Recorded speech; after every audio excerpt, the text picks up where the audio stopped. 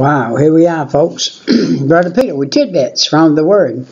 I'm reading a message by Dr. Malone, Tom Malone.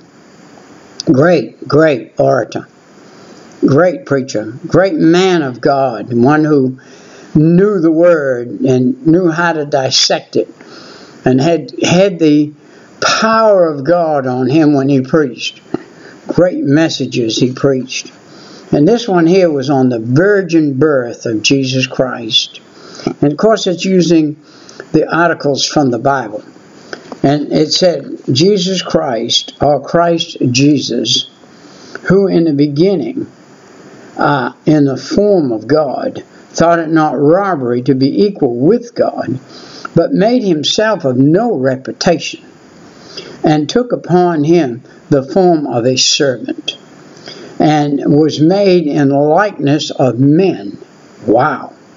And being found in the fashion as a man, humbled himself, became obedient unto death, even the death of the cross. Philippians 2 5 and 8. As a man coming on the earth in a fleshly body, the fleshly body must die. It is going to die. And that is it in a nutshell.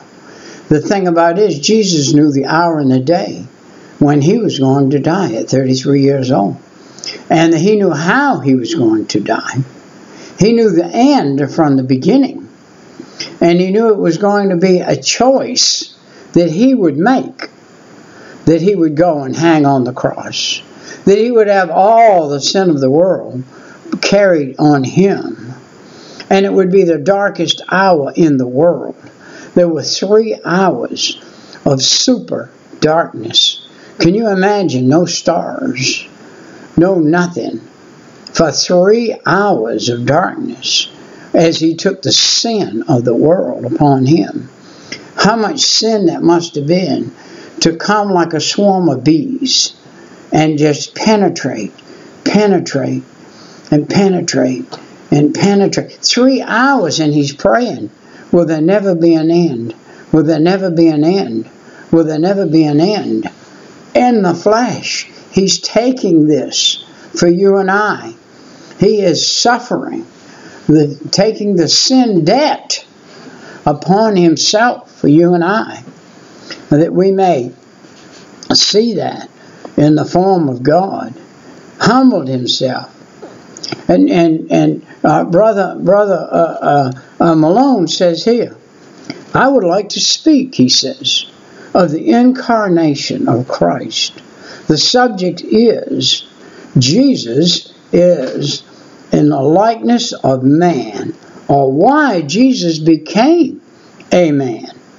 There are two phrases in the passage that I call to your attention Philippians 2 7 and 8 have these two expressions made in the likeness of man and being found in the fashion as a man, and that is the subject.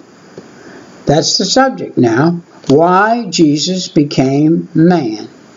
Some may want to distinguish between the virgin birth of Jesus and the incarnation of Jesus. In a sense, this is a difference, yet the two subjects are closely related. The virgin birth involves uh, that miraculous act of God whereby the Lord Jesus was conceived without a man in the body of a pure virgin named Mary. Incarnation is a divine act of God when Jesus was manifest in human flesh. Many passages speak of the virgin birth in Matthew 1 18 through 20 says, Now the birth of Jesus was on this wise.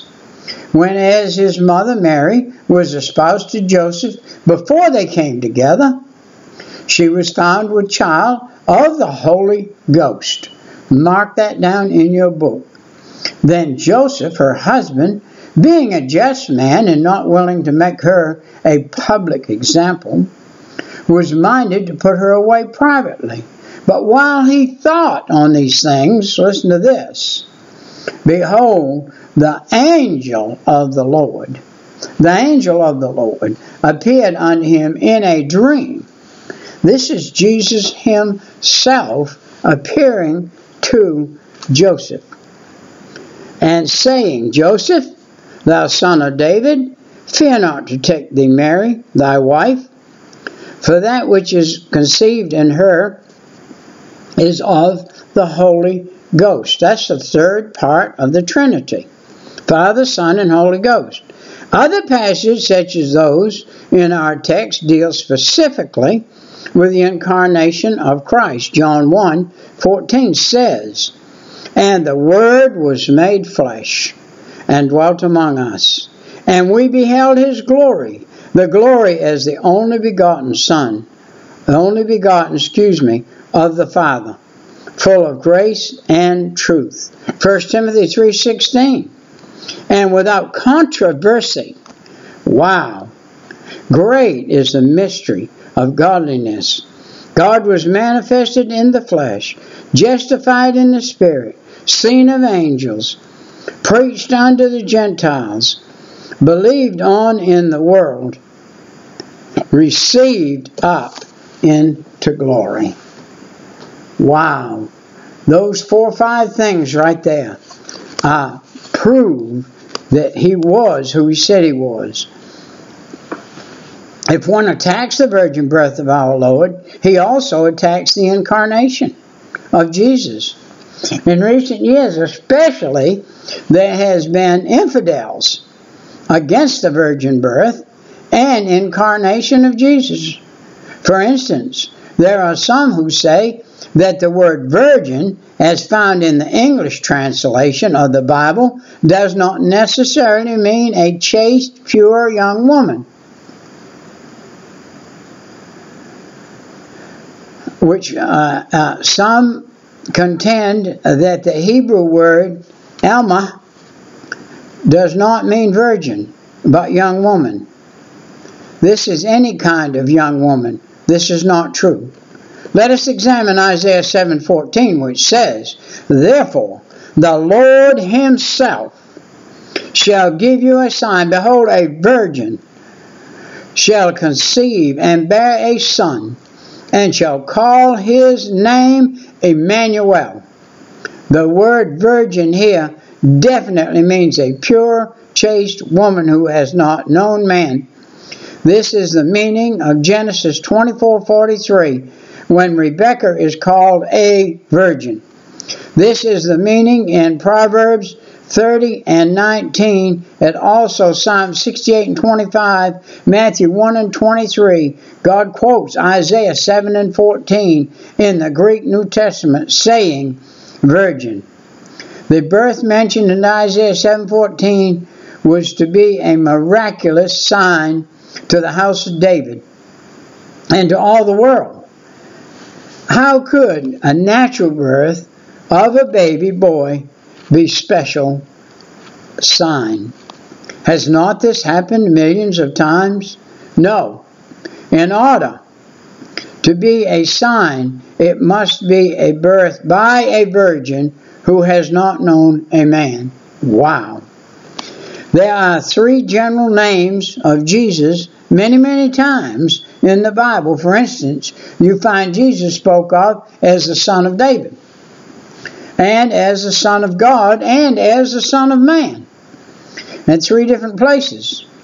The Son of David is his Jewish name, his uh, racial name. All of us know that nearly every book in the Bible was written by a Jew. Jesus came from the tribe of Judah, the family of David. He was a Jew. Let's clarify that. Jesus was a Jew. That's it. All right. Then there is the Son of God. This is his divine name. But there is another name. I wonder if we study it as much as we ought to. Jesus is called the Son of Man. 80 times in the Word of God, Jesus Christ is spoken of as the Son of Man. We'll look at some of the verses where Jesus is spoken of as the Son of Man in a, a minute. But what I want you to think of uh, is Jesus Christ as a man. Jesus Christ, a human body. Yes, a body just like you, a body just like me, and my body. Jesus was perfect. Jesus was divine, but Jesus had a human body. Now, many other things let's take a look at. Times in the Bible is called a man. The Son of Man is called a man. He was called a human being. We read, for instance, in Hebrews 2.14, For as much then as ye children be partakers of the flesh and blood, he also himself likewise took part of the same. Now, here in the Word of God, it plainly and simply declares that Jesus Christ took part of the flesh and blood. Do not forget that. That's important. I believe that the humanity of Jesus of vast importance. I've heard great scholars, great Bible teachers say that the humanity of Christ needed to be emphasized in our preaching and teaching, just as the deity of Christ. Now, Tom Malone, uh, I, as I told you, is was was and is is probably, and I I don't expect he's still alive, but was one of the foremost Bible scholars of his time. And now, many times in the Bible, Jesus is called man. All right, now we're going to see the woman at the well who got gloriously saved went back unto the city and said, Amen which told me all things that I ever did. Boy, and that was the emphasize the deity of Jesus Christ right there, 4 and 29. When she viewed Jesus sitting on the well, there is a there in Samaria, she looked on him and recognized God to be in the form of a man. Jesus spoke of himself as having flesh and blood on many occasions. In John 6 53 and 54, Jesus said, Except ye eat the, my, the flesh of the Son of Man and drink the blood, ye have no life in you. Whosoever eateth my flesh and drinketh my blood hath eternal life. Now, Jesus claimed that he was a man. Jesus claimed that he had flesh and blood many, many times in connection with all the great things that he did, Jesus referred to himself as the Son of Man.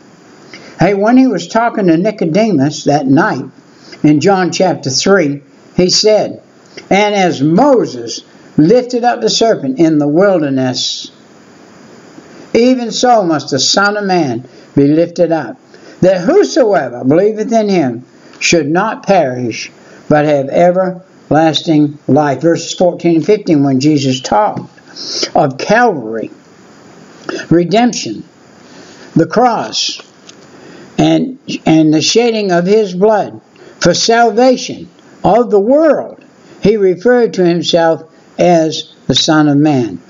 Notice it again in Luke 19:10. He had just saved uh, Zacharias, and the people wondered, that he was such a wonderful friend of sinners. Jesus said, For the Son of Man has come to seek and save that which is lost. Luke 19:10. So we see his humanity connected with his divine purpose in the coming into the world. Hey, notice again that Jesus spoke of himself as the Son of Man when he spoke of the resurrection. For as Jonas was three days and three nights in the whale's belly, so shall the Son of Man be three days and three nights in the heart of the earth. Matthew 12 40. Yeah, you notice that Jonah went in a man, he came out a man. Notice also when Jesus spoke of the second coming, he spoke of himself as being the Son of Man.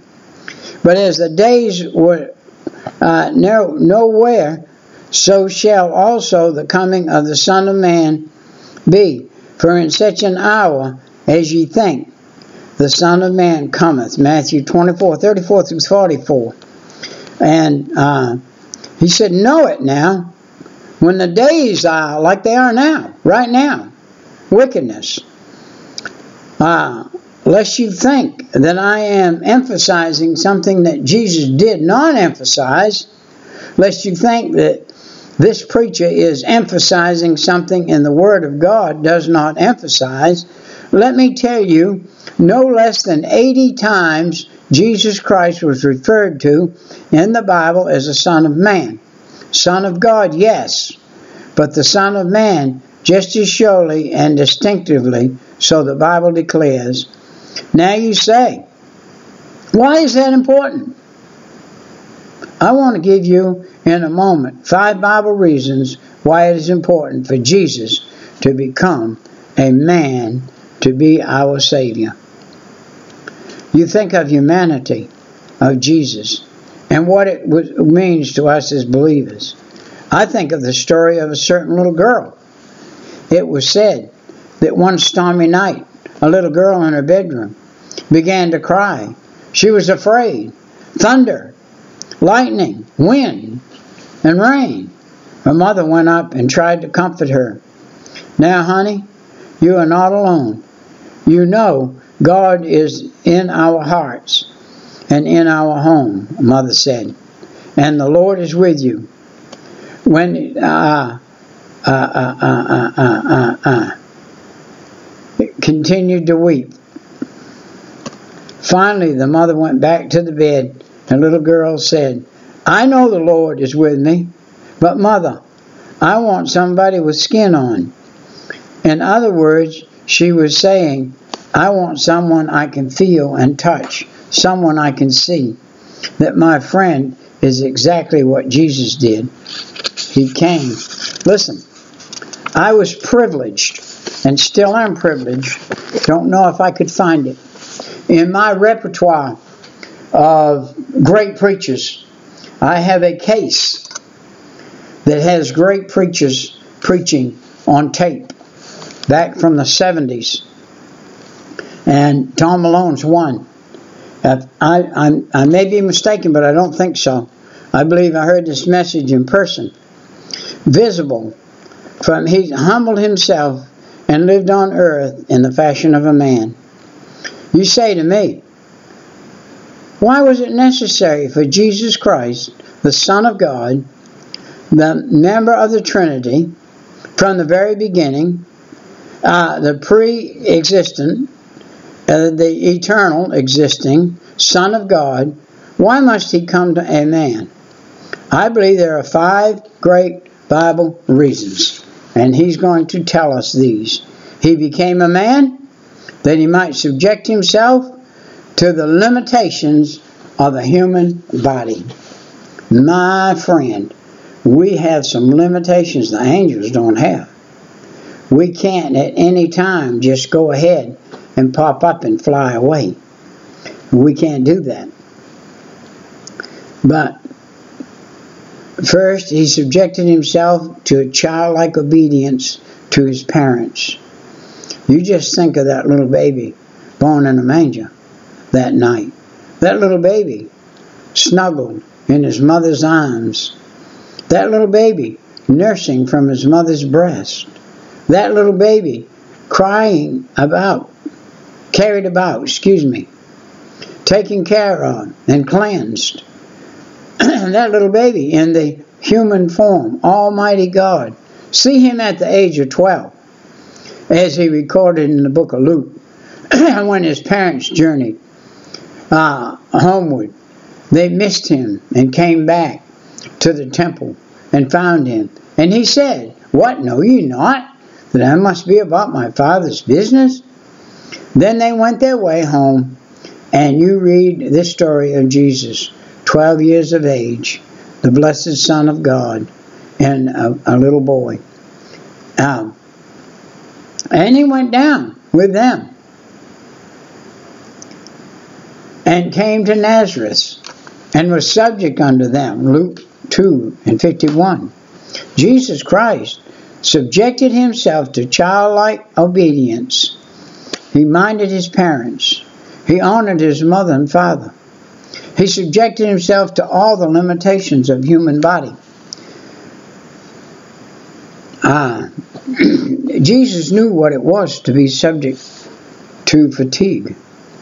The Son of God, who made all things that I made, yet became tired. That body became worn and tired with many long hours of labor. I read a beautiful thing in Mark 4. One day, amidst a storm, Jesus was on the boat. The storm was arising, disciples came, and we read in Mark 4:38 that Jesus was in the hinder part of the ship, asleep on a pillow. And they awake him. And the Son of God got so tired from toiling and laboring and ministering, speaking, loving, and weeping over people that his body became worn out. He became tired and sleepy. So he lay on the deck of the vessel on a borrowed pillow, and he had to be awakened even in the midst of a storm. The body of Jesus was subject to fatigue. The body of Jesus was subject to hunger. Jesus knew uh, what it was to want food, to be hungry, to look for something to eat. He looked upon a fig tree. Mark 11:12 says, And on the morrow, when they were come from Bethany, he was hungry. And when he think of Jesus, didn't always think of him working a miracle. He met his needs. Think of him as being in a human body subject to limitations such you and I are. Jesus was hungry. Jesus subjected himself not only to childlike obedience, fatigue, and hunger, but he subjected himself to thirst. The body of Jesus knew what it was to crave water. See him as a stranger sitting on the well in the hot noonday time of the day, saying to the woman, Listen to this.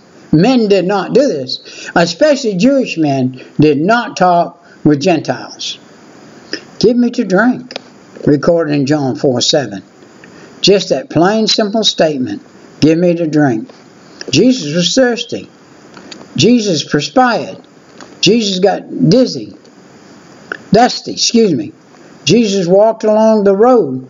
He wanted water. He begged for something to drink. Jesus subjected his body to human limitation. And also, almost, the last thing he said on the cross was, I thirst. Wow. That body knew fever, pain, suffering, wanted water. It was a human body. See it again. His body was subject to limitation. Jesus' body was subject to the deprivation. Jesus knew what it was to want something that he didn't have because he came in the form of man to walk among men, listen to him. One time he said, The foxes have holes, the birds have air, have nests, but the Son of Man hath not where to lay his head. Matthew 8 and 20. Jesus was deprived. He owned no home. Read John 7:53 and 8 and 1. And uh, 8 and 1. And every man went unto his own house. Jesus went into the Mount of Olives. When others said, I am going home, Jesus said, I'll go to the garden and pray. I'll go to the mountain and pray. And had no home of his own. The foxes have holes, the birds have the air, have nests. But the, Jesus Christ was subject to all the limitations of the human body, or how I thank God for that. You know, the Bible says he was in all points tempted, like as we are, yet he sinned not. Hebrews 4:15. The word of God says, "For in that he himself hath suffered, being tempted, he is able to succor them who are tempted." Hebrews 2:18. So when you are tempted, remember, Jesus was tempted first. You are thirsty. You are tired. You're hungry. You're deprived. You remember. Jesus, as a human body, went through all that. So, first of all, he subjected himself to the limitations of a human body. Oh, he gave himself in a body. I think of it as so often on the first Sunday of the month when we observe the Lord's Supper, the ordinance of communion. I think of the statement in 1 Corinthians 11:24 where Paul quotes Jesus, "Take, eat. This is my body, which is broken for you." The words broken is inserted at and it should read, "Take, eat. This is my body, which is for you." He said, "My body is for you." Jesus took upon himself a body. Why? For you. That was God's way of Christ to be revealed and manifest in a human body, subject to all limitations of a human body. He was made in the likeness of man. That was all number one. 26 minutes of number one. And number two is another uh, 26 minutes. It goes into the Old Testament and the New Testament and gives the prediction. Number three, became a man that he might subject himself to man's death and the grave. Number four, he became a man that he might subject himself as a man to Adam's curse. That's the body going to the grave. I was talking to Mr. Mr. Malone about a song that I have thought so much of recent days. Just part of it would come to me. The song started like this I saw one hanging on a tree in agony and blood. He fixed his languid eyes on me as near his cross I stood. And the choir sings this says, He's looking on you. He's looking on you over with love, compassion, love and compassion so true. He's looking on you. He's looking on you. He is looking on you. Another verse of the first song says, A second look he gave which said, I freely all forgive. The blood is for the ransom paid. I died that thou mayest live. What a song that is. Let's thank God that the curse is gone. Let's thank God it's gone. It's removed. It's lifted for those who believe. Yes, he subjected himself to the body of a man that might assume man's curse. And five, he became a man that we might be made in the likeness of God. Isn't that something? Now, God brought his likeness to the earth in Jesus Christ. God brought his likeness to the earth in his Son, Jesus Christ. When we see God, will we see him? I don't know that. We will see Jesus. He is the representative of the God that created everything. In essence, the God that created everything, became a man through Jesus Christ. And that's the God we see. And that's the God we know. The incarnate Christ, the one who never sinned in human flesh, the only one who ever walked on this earth and did not sin in human flesh. Well, we will see you next time. It's been good to be with you this day whatever time of day it is for you. It's the same time of day for all of us. We'll see you then. Right. Bye bye.